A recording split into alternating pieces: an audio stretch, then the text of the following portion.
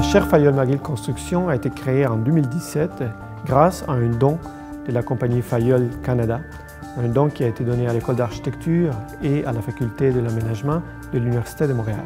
La chaire inclut une équipe de travail d'environ six chercheurs et praticiens ayant différents profils et provenant de diverses disciplines. Today, uh, common practice in architecture in Canada uh, often uh, suffers from not having enough innovation, not taking enough risks, not looking at the future. The chair gives us an opportunity to really study innovation. Studying innovation in architecture and construction will give us an opportunity to really bridge the gap between regular construction and a profound sensitivity to sustainability.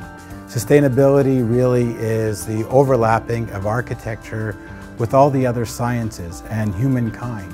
And it's through those activities that we're going to learn how to act and design and build and monitor much more carefully in the future. L'objectif de notre travail est vraiment de développer de nouvelles connaissances, des connaissances qui peuvent être utilisées par les praticiens pour améliorer leurs pratiques, pour développer de nouvelles façons de faire et pour développer l'innovation dans le secteur de l'architecture, du bâtiment, de la construction en général, au Canada et ailleurs. Today, uh, the chair is helping us really bridge the gap between areas of research. So yes, we have engineering, we have sociology, urban design, uh, public space, uh, social cohesion.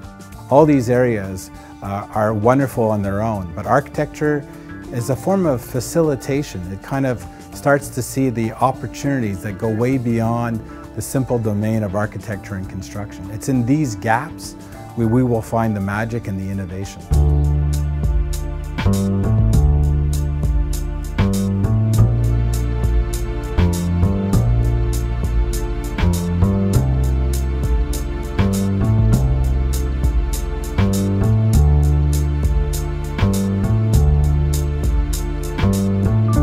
Pensons que notre approche est originale parce que la chaire se concentre sur les interfaces, les interfaces par exemple entre les éléments constructifs. On peut penser à la relation entre la structure et la ventilation par exemple. On s'intéresse aussi aux interfaces entre le monde de la recherche et le monde de la pratique et aux interfaces par exemple entre les sous-systèmes euh, du, bâtiment ou des processus de réalisation des projets. I think the chair can have a profound influence in the construction sector by carrying out uh, research on many levels. One of them is what called pure research, where we're looking at some of the most innovative thinking around the world in specific areas. Let's say we're talking about wood and tall building construction, or we can be looking at uh, innovative modes of construction. That is one technique. Another one is actually to try it out in our studios, in our research, in our symposium. Uh, these are opportunities to test out ideas, learn from industry, and then share with industry. So it's really creating a dialogue between the two.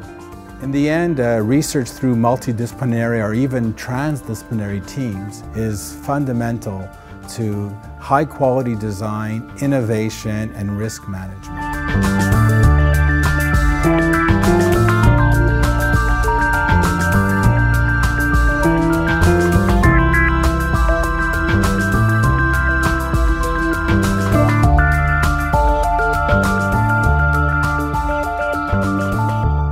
And many times people have been researching in their own specific siloed area of expertise without understanding the other components connected.